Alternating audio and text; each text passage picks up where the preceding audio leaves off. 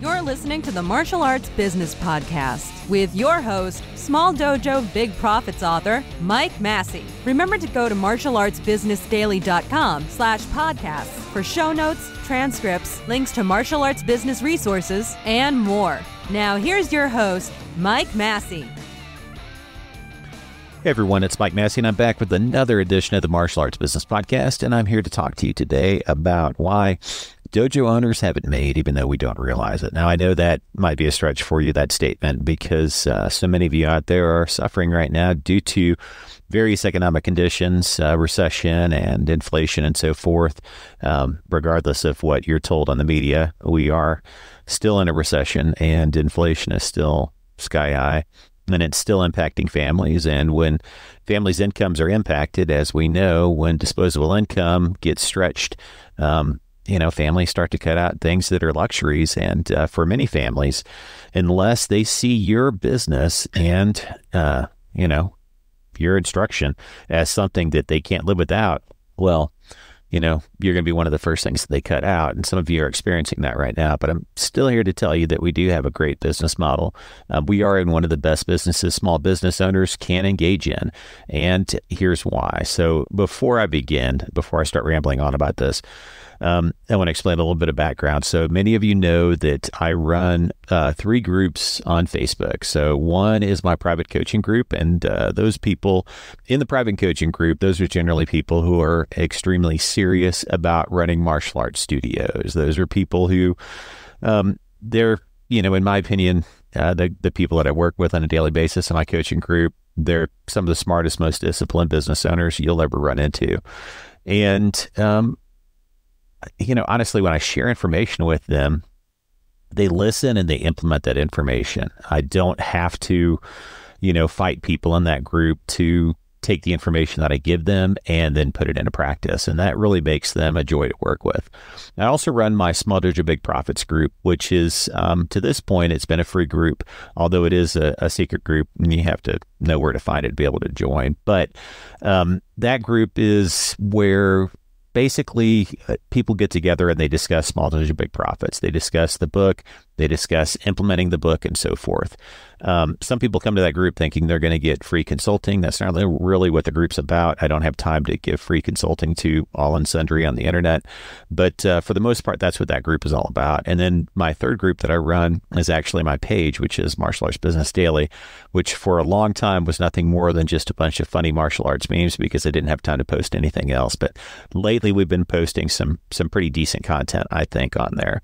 Um, some video content, some shorts, and some other content um, related to the business of running martial arts studios. And so those are the three groups or the three pages that I run on Facebook. And because I run those three groups or those three pages, and I have for some time, besides the fact that I've been doing consulting in the martial arts industry for 20 years now, um, I hear a lot of common complaints and maladies from martial arts school owners in general across the board. And, you know, it's interesting because I hear the same complaints, the same things over and over and over again. And, and you know, here's a laundry list. I, I kind of made some notes here.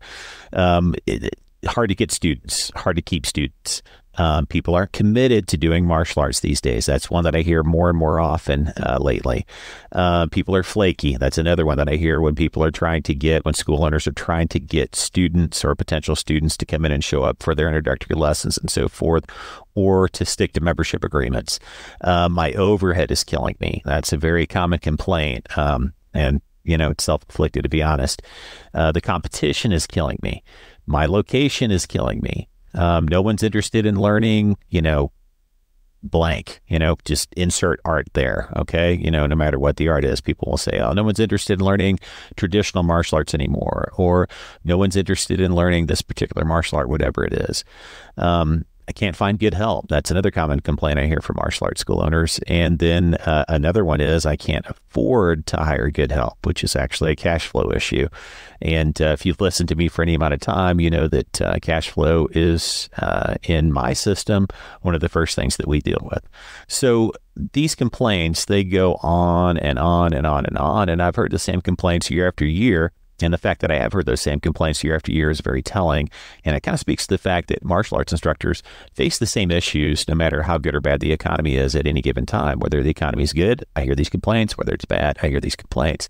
And sadly, really all of those complaints are self inflicted issues, uh, pretty much every last one. And if instructors, these instructors who are complaining about these these various self-inflicted maladies in their business, if they would just spend some time educating themselves on even the most basic of business principles, they most likely wouldn't have those problems. And and this leads me to my point for this week's podcast, which is martial arts school owners really don't know how good they have it.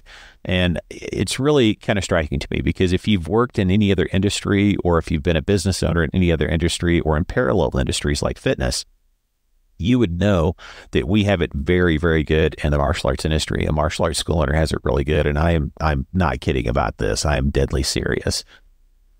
The businesses that we run, running a small highly profitable martial arts studio.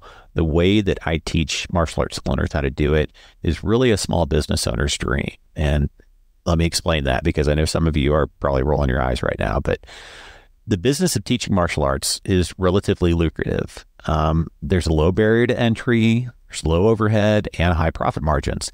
Now, that low barrier to entry is kind of it's kind of a curse and a blessing because it makes it really easy for people to open up martial arts studios or sometimes just to fall backwards into running a martial arts studio. Um, almost unintentionally, it seems like for some school owners that I've worked with in the past.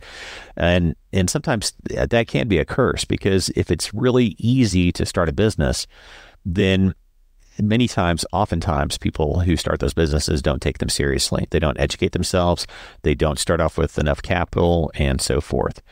Um, now, also another benefit to our business model, at least here in the United States, is there's no licensing requirements. There's little, if any, regulation in the industry here in the United States, and the only credential you really need to open up a studio is an instructor certificate from a reputable organization. As we know, there have been some charlatans out there that have opened studios that have none of that, but we won't get into that because I'm only speaking of and addressing legitimate, serious martial arts instructors and martial artists in this podcast. So you don't need a great deal of capital to open a studio. Um, a successful studio, you can run a successful studio in as little as, you know, say 1,200 square feet or even less, depending on the business model you follow. Uh, my micro dojo business model, you could open up in, in even smaller footprint. Um, but that's kind of another story. But some of my coaching clients could attest to that. Um, you can open with nothing more than a few grand, a few thousand dollars spent on mats, paint, and decorations. Um, you know, a bathroom, possibly an office, even though an office isn't really necessary in a martial arts studio. Some people will argue with me about that.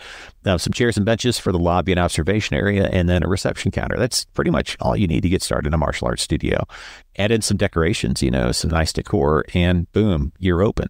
Now, I've opened personally, I've opened studios for under $5,000 in investment before I opened the doors, including what I spent on the first and last month's rent when I signed the lease. Now, that may sound crazy to some of you, but I've done it. And, you know, the reason why I was able to do that is because, you know, number one, initially when I first did it, I was desperate.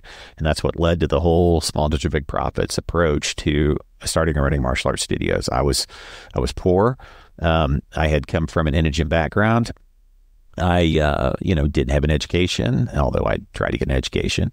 Um, the only job training I had was what I got in the military, and all I really had was was drive and and uh, you know my own personal efforts, and that's what allowed me to start my first martial arts studio. So you know, it can be done, and the crazy thing is, is that you can open up a studio for such little money. And really, all you need beyond that is maybe a $1,000 or $2,000 for initial marketing push and, uh, you know, a few grand out of pocket to pay rent until the place starts breaking even. And uh, let's add in maybe like a $1,000 for miscellaneous expenses. And guess what? You have a business model where a profitable location can be opened in the black in a few months for under 10 grand, which is crazy. It's nuts. Now, having been a franchise owner in another parallel industry in the fitness industry. Um, although I ended up walking away from that partnership, and that's a topic for another discussion why you shouldn't enter in partnerships in small businesses. But but um, I can tell you that the initial outlay for a franchise, you know, if you're purchasing a franchise, it's tremendous. I mean, you might pay, you know, $100,000 just for the franchise fee easily. And then you're paying, you know, anywhere from 3% all the way up to, in some cases, 10 or 12% of your gross, your gross profits, not your net profits, not after expenses, but before expenses. Um, to the franchise organization that you purchased the franchise from.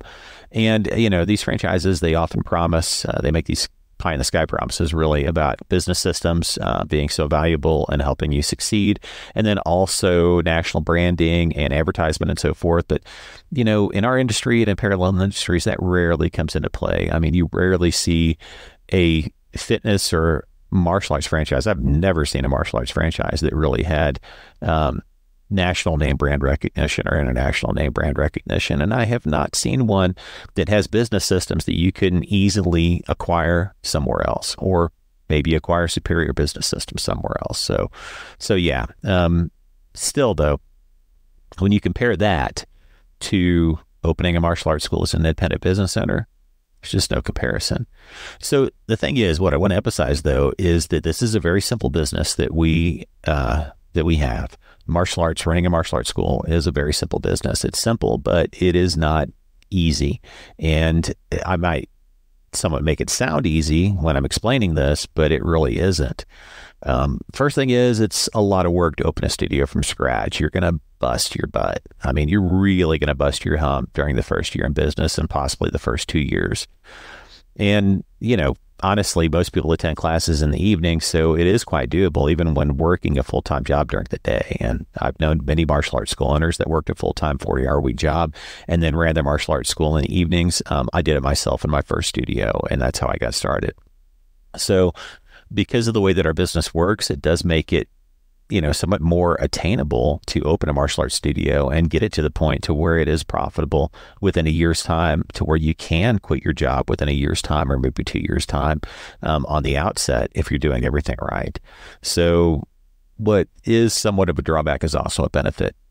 And then, of course, opening any business is risky. There's no guarantee that you're going to get enough students to break even in your first few months. And, you know, that's why I teach the bootstrapping approach that I outline in Small Dojo Big Profits. And if you're unfamiliar with that approach, I suggest that you read the book because it's pretty straightforward. And uh, Small Dojo Big Profits pretty much explains everything that you need to do to be successful in your first year of running a martial arts studio. And then I have follow up books that describe what you should do after that. But, but that's the book that I usually recommend people read, you know, for their, if they're just getting started. Also, planning is everything. And having a good marketing plan is really essential to launching a successful studio.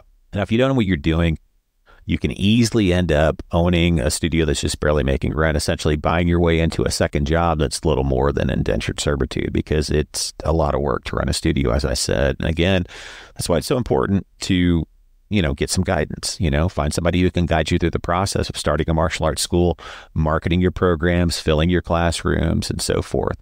And, you know, I would say that the majority of martial arts school owners that I end up working with who are struggling have been people who have kind of um, foregone that initial guidance when they first got started. And then after they got in and kind of got, you know, found themselves in the deep end, so to speak, in their businesses, that's when they started seeking out somebody to help them in their business, to help them grow their business or help them save their business. And sadly, sometimes, you know, I have people come to me and the, honestly, it's too late. I've had people come to me when they were like, you know, I've got to get 30 students right now because if I don't, next week, my landlord's going to shut the doors on me. And I have to tell these people, I'm like, look, you know, uh, we can try, but you know, that's that's a big ask. You know, um, especially when you're taking somebody from not knowing anything about business or not knowing anything about how to run a, a, proper business and being in debt and so forth. And they're asking you to help them get 30 or 50 students in a week's time or a month's time or whatever. It's just crazy. Um, we have turned martial arts studios around that have been in dire straits and turned them around in a very short period of time, but it's always a gamble. So my advice to you is, is that you get somebody to guide you through the process of starting a martial arts school um, from the beginning, from the get go. Now, having said all that, I still think that martial arts instructors have it made. Now, I can't think of a single other industry where you can open a profitable business for under $10,000. And the closest thing I can think of is the personal training industry. But to own a studio, you'd still have to spend tens of thousands of dollars on weights and machines and other gear to have the necessary equipment to do your job properly. You'd probably have to have a similar um, footprint as far as the size of the lease space that you that you acquire.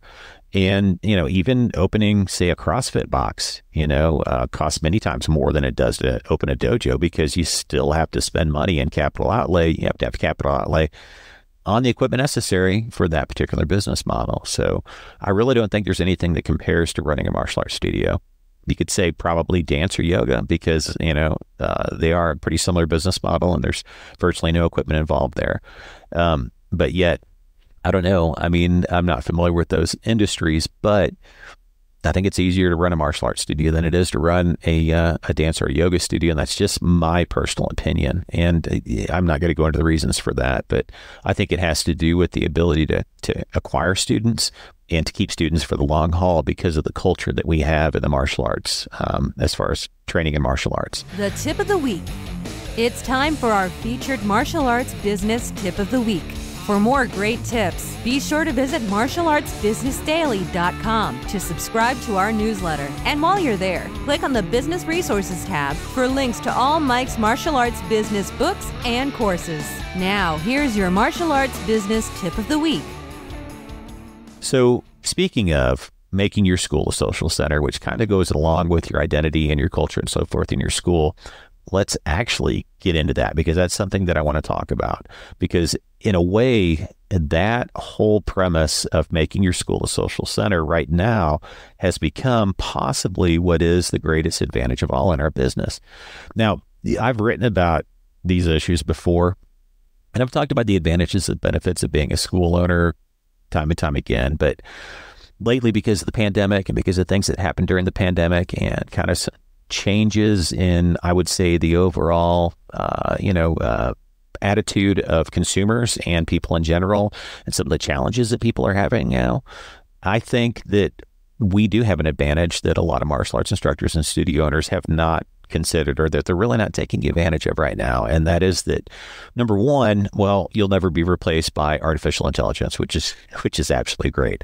Um, that's one of the biggest disruptions that's happening right now. Okay, I think it's pretty obvious to most of you that you're not going to be, uh, you know, replaced by artificial intelligence, but um, hear me out. I've been following this for a long time, and it's something that I'm kind of concerned with because I moonlight as a fiction author and so forth, and I'm seeing a lot of upheaval in that industry, in the publishing industry, and also in the music recording industry, and also among uh, stunt actors and actors that I know um, that are really worried about AI taking their jobs. But we personally, I don't think we're ever going to be replaced by AI because people want to learn martial arts face to face, which brings me to my next point, and that is that people want to belong to, yeah, let me say this, I guess you could say a group of people. They want to be accepted in a group of people, and people want to have a place these days where they can come and they can interact with other people in a group setting. In other words, people need social interaction.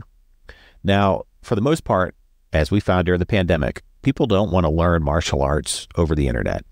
Um, we saw many martial arts studios shifting to the online model during the pandemic. Um, I would say most martial arts schools that actually survived the pandemic, you know, however you guys survived it. Um, I would say most people moved to that model. I didn't personally move to that model. I moved to the micro dojo model and it worked very well for me.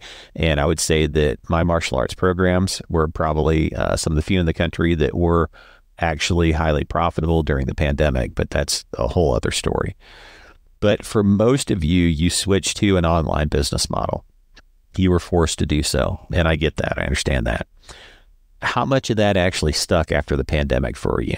I would say for almost every martial arts instructor, especially those of you that got burned out on teaching Zoom classes over the pandemic, um, I would say none of it stuck because number one, you don't want to be stuck teaching to a camera all day because it takes away the personal interaction and it takes away the personal touch in your teaching, which is one of the reasons why I think we become martial arts instructors because we want that you know that personal interaction, um, that personal approach. You know that uh, we kind of, I would say, we kind of thrive on that. Students don't want it either. You know, they don't want to be learning from a computer screen. Um, I know I certainly don't. Although I know several instructors now that um, part of their business has become doing Zoom classes and doing distance private lessons for people and so forth. And I don't think there's anything wrong with that. I do think, however, that it's not necessarily a sustainable business model, um, not for your entire business. I think it could be maybe an adjunct to your business, but it's not necessarily an entire business model in and of itself. So what we found is is that even though people they were looking for things to do during the pandemic, and a lot of people flocked to online martial arts classes and so forth, either just for a way to be able to continue what they were doing during the pandemic, or simply out of boredom people spend way too much time online and they don't want to spend any more time online than they have to. What people crave now, what they're craving. And I would say that a lot of the anthropological and sociological research that we're seeing come out now um, supports this people are craving personal interaction. They're craving social interaction more now than ever. And people are having a harder time than ever making social connections with other people. And that is where your martial arts school comes in. And that is where we have a particular advantage that I think other small businesses don't have because really this is an opportunity that nobody's talking about. Um, it creates a tremendous opportunity for studio owners. The fact that a lot of individuals, especially younger generations, really seem to be having a difficult time making social connections and making meaningful connections with other people. Now, if you're sharp enough to capitalize on this by emphasizing the social aspects of what you do, both in your ads and how you deliver your services, you can become an indispensable and vital part of your students' daily lives, which means that if they see you as indispensable and vital, guess what? Even when they have to, you know, cinch up their belt a little bit because of inflation or the recession or whatever, it's quite possible that people aren't going to want to cut your activity out of their lives or out of their children's lives because it might be the only meaningful social interaction they have all week. I mean, let's face it, things are changing in society uh, today, and you don't see as many people involved in, uh, say, civic organizations anymore. Um, you don't see as many people involved in church. Um, the church, especially the evangelical church, has been declining in uh, numbers and attendance for many, many years. And I think people are falling away from those types of in- institutions. And whether that is good or bad, whether it's right or wrong, um, whether it has benefit or it's a detriment to people overall, I would say it's happening. And I would say that people are looking for institutions and they're looking for activities to replace those types of social connections. Now, if you've done any study whatsoever into the psychology of happiness, and I suggest that you do, and there are many good books out there that um, that I might recommend to you, although I can't think of any now because obviously I'm on the spot. But um, look into the psychology of happiness, and you will see that one of the primary things that psychologists and researchers cite as one of the keys to prolonged happiness in life are social connections and social interactions, especially family connections and close connections, but also overall being connected in the community, in your community somehow, or in a community. Guess what? Martial arts instruction and a good martial arts studio, one that's run by an instructor who cares and who cares about helping students be a part or feel like they are welcome and, and they're a part of the overall culture and community of the school, you can provide that for people. It's a huge, huge, huge benefit for you as a business because you're not going to see that in other types of small businesses that do what we do. Possibly, I would say if somebody's smart, they're going to be creating that kind of culture of belonging, um, which in turn creates a culture of commitment. But honestly, you're not going to see it in, in very many small businesses. You know, certainly if you open a restaurant, you know, there's nothing there to make people want to come and belong to a community. Yeah, you know, I think the days of people, you know, going to the local diner and sitting around and, you know, playing dominoes with their neighbors and so forth, you know, um, every morning or whatever, or talking over the morning coffee about the news and whatnot. I think those days are long gone. I think people are too busy for interactions like that. And I think they're looking for something that is more compact, um, that's more compartmentalized, and that fits more into their daily lives. And that's where we come in. So, having said that, I want you to carefully consider the ideas and concepts that I presented to you today in this talk. I want you to think deeply about the social aspect of martial arts training and the difficulties that modern adults are facing in connecting with others and in forming meaningful peer groups. And then I want you to think about how your studio can solve that issue for the adult market. Ask yourself, though, does your marketing and advertising convey to the public as your central marketing message that that is something that you offer? Does it? Are your ads and your social media posts conveying? Are they showing adults in groups laughing and sweating and smiling and having a good time? Or is it the opposite? You know, is your marketing and is your social media off putting to people?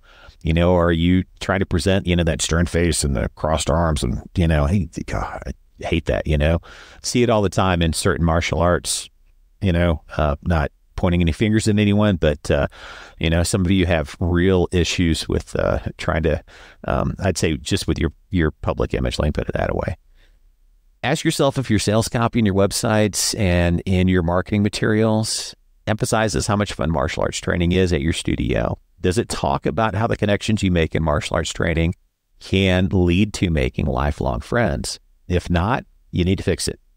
Then ask yourself if the actual manner in which you deliver your services is reflecting that message. Are your classes fun? Is the atmosphere warm and friendly? Do students actually have the opportunity to interact in meaningful ways before, during, and after classes? What's the answer? Yes, no, maybe? You need to answer this for yourself. Now, I'm not telling you that you need to become a big softy, that you need to start making your classrooms, you know, one big hand holding kumbaya session, you know. Um, your dojo should not become, you know, uh, a big Oprah session every single class. That's not what I'm talking about. What I'm talking about is is still teaching quality martial arts, still being a tough instructor, but doing it with a smile, doing it with an openness and a friendliness that perhaps you didn't get from your instructor when you were coming up. The type of thing that makes beginners who may be intimidated about learning self defense, martial arts, or whatever, that makes them feel welcome and makes them feel comfortable when they come into your studio. You might be confused about all this, so I make it a little bit more clear. If your classes are run like a military boot camp with you and your staff running around yelling at students like drill instructors, then the answer to my question, my previous question, is probably no. Your classes probably are not welcoming. They're probably not friendly. They're probably not going to convey the message that your school is a place where people can make social connections. But if your teaching style is a bit more relaxed, if you push students to do their best um, while encouraging them verbally, if your students leave every class sweating and smiling, then you're probably on the right track if you set your school up so there are places for students to hang out before and after class, like bleachers or a coffee lounge or, you know, maybe a welcoming front lobby or an observation area, then you get bonus points for that. Subtract those points though. If you're chasing students off after class, add points if you encourage extra training and conversation after the last adult class of the night or after open mat or after adult special events. And yeah, I know it's a pain it's a pain to have to spend those extra hours at the studio. You just want to go home and relax after class. I hate to tell you this, but your job description has changed out of necessity and you need to adapt. So you need to get used to it.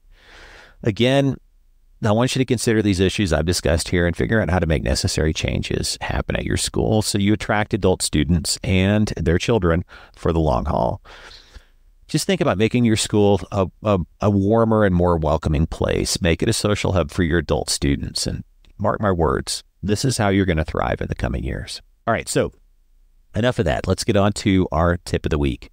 Now, the tip of the week today is really just talking about the five core essential disciplines in the Small Dojo Big Profit system. And those disciplines are pretty simple and they revolve around five core Small Dojo Big Profit skills. The first skill is money management. The second is lead generation. The third is sales. The fourth is retaining clients. And the fifth is pro- profit maximization. Now, implementing those skills or those disciplines involves first tackling cash flow. And cash flow problems are solved by generating leads. So that's the very first thing you need to tackle in the small dojo big profit system. It's the very first thing we tackle. It's the first thing I tackle with my coaching clients. It's the first thing I tackle in my courses. So if you're struggling with that, of course I'm biased, but I would suggest that you start digging into some of my materials. The second skill or discipline that you need to master is sales, and that means converting inquiries and leads to students. It's as simple as that. Now, many martial arts school owners think that selling is a dirty word. It's not. Selling is not a dirty word. Selling is something that is essential to running a business. As uh, one of my good friends, Tom Whitaker, says, he says, you know, Mike, because he he travels around, he teaches seminars at a lot of different martial arts studios. And he says, you know, I'll go to martial arts studios where they haven't enrolled a single student all week. Now, and then he, he follows this up by saying, tell me of any business that you know of that can survive without making even a single sale in a week. That's true. Martial arts school owners often think that they can get by without selling because they see that money coming in on the back end through their uh, their students' memberships or subscriptions. You know, through that recurring revenue. I'm here to tell you that recurring revenue is going to go away. If you are, let's say you had 100 students, and let's say that you have what is pretty much typical among martial arts school owners nationwide, about 5% attrition, which means about 1 in 20 of your students or 5 in 100 students are going to be gone every single month, no matter what you do, just through insensible attrition. People just leaving because, you know, they had babies, they lost their job, they moved away, whatever. Well, within a year's time, you're going to be down to what, like 40 students or something like that, you know? And I, I guess what? You know, you go from 100 students to 40 students, you're going to be shutting your doors. Selling is crucial. You have to replace the churn in your business. If you don't replace the churn, guess what? Pretty soon you're going to find yourself in dire straits. And that goes on to the next skill, which is retention. That's keeping students for the long haul. And, you know, what many martial arts instructors, I'm going to talk about the flip side of selling, what many martial arts instructors miss is they focus on the front end. And I'll, I'll, never forget the time when I went to a very well known martial arts school owner's school and spent some time with him. He's a very good guy. Um, he shared a lot of vital information with me uh, back in the early days of my business when I was first starting off. But, uh, you know, I, I spent some time shadowing this person. And then I asked him, you know, hey, uh, you know, I, I don't see anybody tracking attendance in your school. You know, how do you guys track attendance? And he kind of got this sheepish grin and he looked down and he said, well, to be honest, we don't. And, you know, that kind of, you know, it, it made an impression on me because what it told me was is that they were solely focused on the front end of their business. And they weren't work they weren't focused on the back end. They weren't really focused on you know really satisfying students and keeping students around for the long haul which is really where the long-term money is and the stability is in running a martial arts studio. So you have to learn how to plug the holes in your retention and keep people for the long haul. And then next you got to tackle billing and budgeting and that's nothing more than getting your money on time and spending it where it counts and then saving it where it doesn't. And that saving it where it doesn't part is something that we start off with that we consider foundational in the small dojo big profits approach. Because if you're spending too much money from the outset, you're almost doomed to failure. And so many times I have coached people and against my advice and um, possibly against their own better judgment, they have decided to get much more space, much more lease space than they need.